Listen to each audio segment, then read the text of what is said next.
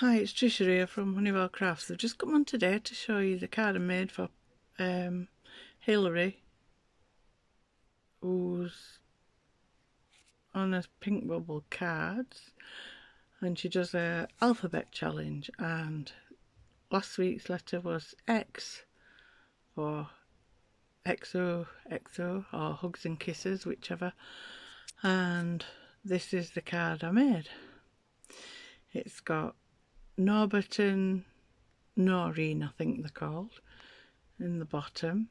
It's a six by six and it's got a piece of silver mirror card, then some red card with spots on, a piece of silver glitter card, Norbert and Noreen at the bottom, a little banner that says love, XOXO in the top corner, and then better together at the side.